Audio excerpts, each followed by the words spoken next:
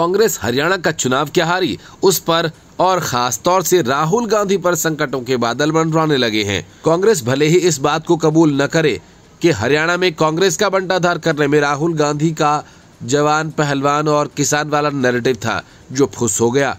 बाकी काम जलेबी की फैक्ट्री ने कर दिया।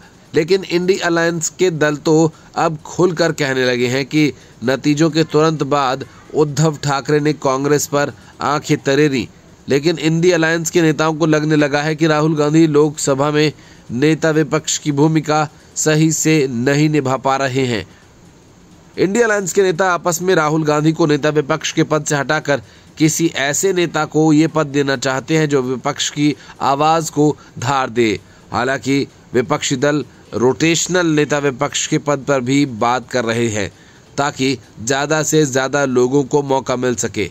इस पूरे मामले पर बीजेपी ने कहा कि अगर गठबंधन को लगता है कि राहुल गांधी अच्छा प्रदर्शन नहीं कर रहे हैं तो उन्हें ये बदलाव ज़रूर करना चाहिए।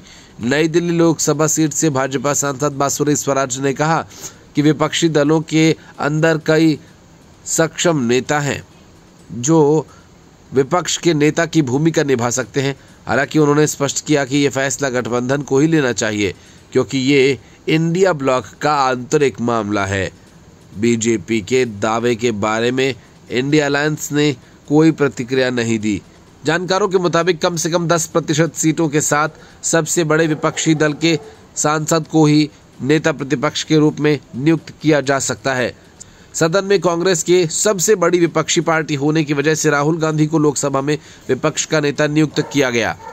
लोकसभा में विपक्ष के नेता के पद को रोटेशनल बनाने की संभावना के बारे में, विपक्षी दलों के बीच चर्चा के बारे में पूछे जाने पर भाजपा सांसद बांसुरे स्वराज ने टिप्पणी की। बांसुरे स्वराज ने पार्टी मुख्यालय में एक प्रेस कॉन्फ्रेंस करते हुए कहा कि हाँ बिल्कुल मैंने भी सुना है कि ऐसी बात चल रही है कि नेता प्रतिपक्ष के पद को रोटेशनल करने की बात चल रही है, लेकिन मैं विनम्रता से कहूँगी कि ये विपक्ष का अंदरूनी मामला है। बांसुरी स्वराज ने कहा कि विपक्ष में कोई सक्षम नेता है। उन्होंने कहा कि विपक्षी दलों में ऐसे कई नेता हैं जो नेता प्रतिपक्ष का कार्यभार संभालने में काफ़ी सक्षम है। अगर इंडिया अलायंस को लगता है कि माननीय राहुल गांधी पूरी कर्तव्य निष्ठा से अपना पदभार नहीं संभाल पा रहे हैं तो ये निर्णय उन्हें लेना चाहिए। Bureau report, news of India.